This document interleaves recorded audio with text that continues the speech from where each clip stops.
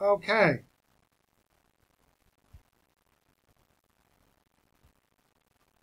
Expositor's Bible Commentary has a summary of 1 Corinthians 14. At this point, a summary of 1 Corinthians 14 of the place of speaking in tongues in the apostolic community of the first century AD, and also a discussion of tongues in the post-apostolic period and the relevance of tongues in the 20th century church is in order. First, in Paul's discussion of this and other gifts in chapters 12 to 14, he emphasizes priority of love over tongues and the other gifts 1 Corinthians 13. Second, in the list of offices, those of apostles, prophets, and teachers in the gifts of the church, 1227 31a, the office gifts are listed first, with other gifts following, the last being tongues. It's not that important, especially for the congregation.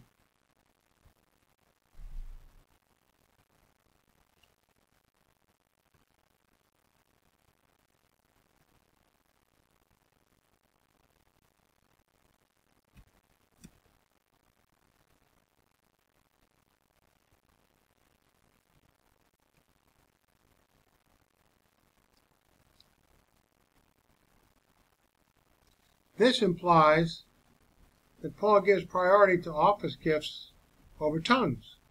Furthermore, among the office gifts, that of apostles, who were unique in having seen the Lord, ceased to exist in the first century AD. Well, can see that because the way the, the uh, first century congregation churches meetings were uh, held, it wasn't a structured thing like we have today. It was up to the Holy Spirit to direct each individual to uh, uh, express himself in the spiritual gift that he had, a gift or gifts, and so on. So, the apostles in the first century ceased to, they've done their function, and now we've gone into the, the, uh, the rest of the church age. Sad to say, it hasn't been very, very uh, commensurate with the uh, goal which what uh, Paul has set for the church to do because of the willfulness of the church age believers. Third, in his treatment of tongues and prophecy in chapter 14, Paul again shows his preference for prophecy over tongues. Some of the former was the gift that brought edification to the church. He minimizes the importance of the gift of tongues when he says in the church, I would rather speak five intelligent words to instruct others than ten thousands of words in a tongue.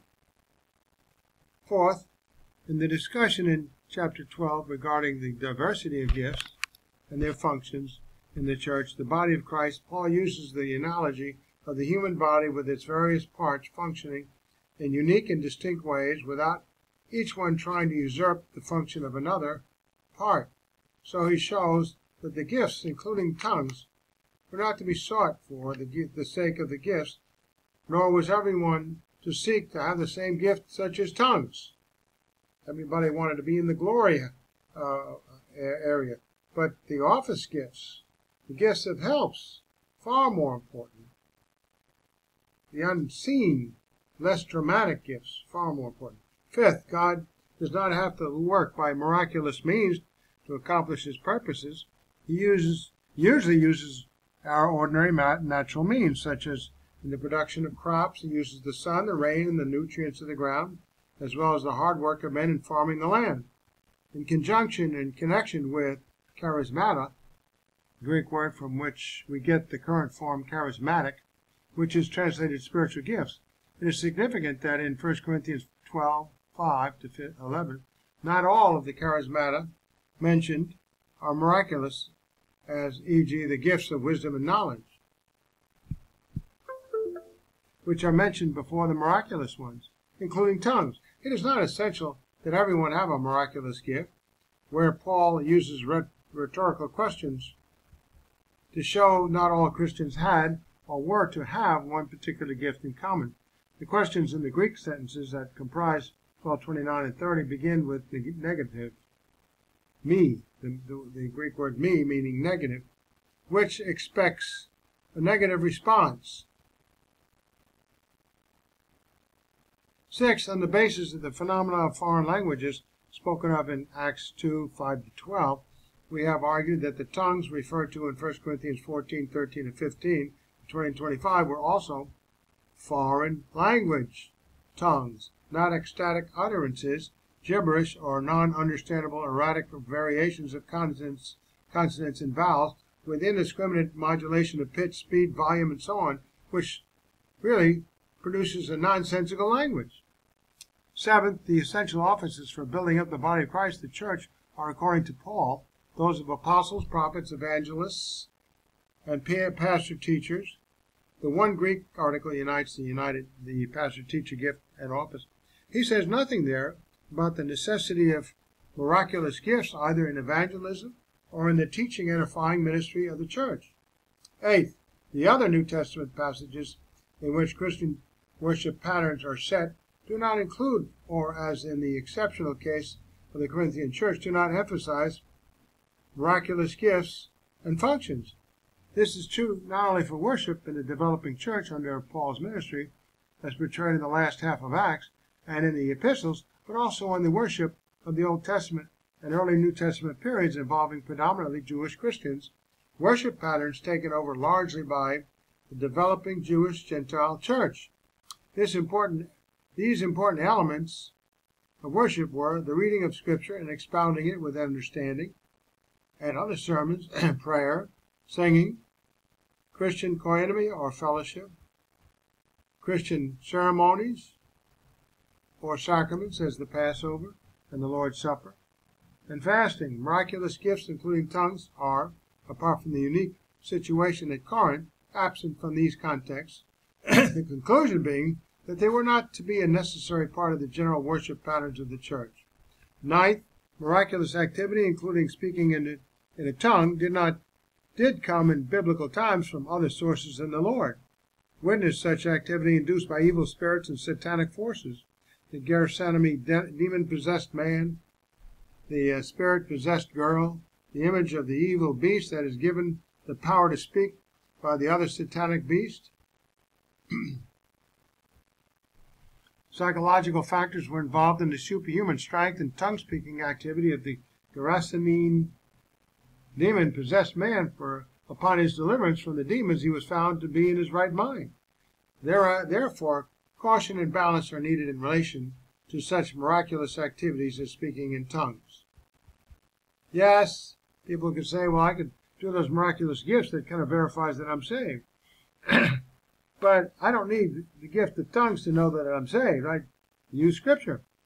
Having pointed this out, we must also recognize that the Bible shows that other gifts were also perverted by Satan. The Old Testament speaks more than once of false prophets as does the New Testament. The Bible speaks of false professors, false pastors, worthless shepherds, hirelings, and frequently warns against false teachers. Yet no one would insist that either prophecy in its valid sense of speaking out for God to the people or the pastoral teaching ministry is no longer valid. Misuse of a gift does not invalidate the gift itself. However, because of their ultimate psychological nature, tongues must be viewed with special caution and not be overstressed. Tenth, it is to be noted that directly after the first century AD, apostolic period, legitimate miraculous gifts such as tongues practically ceased. According to Warfield, there is little or no evidence at all for miracle working during the first 50 years of the post-apostolic church. It is slight and unimportant for the next 50 years. It grows much more abundant during the first century, the third, and it becomes abundant and precise only in the fourth century to increase still further in the fifth and beyond. Miracles yesterday and today, and in Eerdmans Publishing. In discussing the witness of the Apostolic Fathers, the early church writers of the late first century AD and the first century of this first half of the second century, Warfield goes on to say the writings of the so-called Apostolic Fathers contain no clear and certain allusions to miracle working or to the exercise of the charismatic gifts contemporaneous uh, with themselves. In the first place, in the place of these authentic apostolic miraculous gifts, including tongues, there arose in later centuries reports of many preposterous miracles. One such story is told in Los Evangelios Apocryphal. Um, according to the story, the infant Jesus, on the trip to Egypt, caused a palm tree to bow down so that a coconut might be picked for his mother. This, such so-called miracles occur in the writings of the New Testament Apocrypha, both in the apocryphal Gospels and the apocryphal apostolic and early church writings, which are not scripture. New Testament Apocrypha. The questions to be asked are these. Why did the authentic miraculous gifts cease? Because we have that in 1 Corinthians 13. Their purposes were fulfilled. The more perfect neuter gender came. New Testament. Are such miraculous gifts to be sought today? The first question leads us to ask why there was a preponderance of miraculous gifts, including tongues, at the time of the ministries of Jesus Christ and his apostles. Certainly, miraculous gifts do not appear as a part of God's working among the believers in all parts of the biblical record. Abraham, Isaac, Jacob, and the twelve patriarchs did not possess or use miraculous gifts, apart from receiving the word of God in visions and dreams in a day when the scriptures were being given. The same is true of David, Isaiah, Jeremiah, and others. However, when certain prophets of God needed particular support and verification, authentication, then God performed great miracles through them, as with Moses and Joshua, and Elijah and Elisha. Likewise, in the time of Jesus' ministry and that of the apostles, God verified, first century, that the message and the work of Jesus and the apostles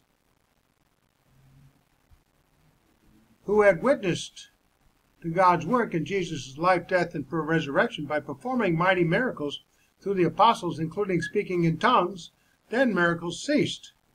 Because we had the New Testament. They testified to all these miraculous things.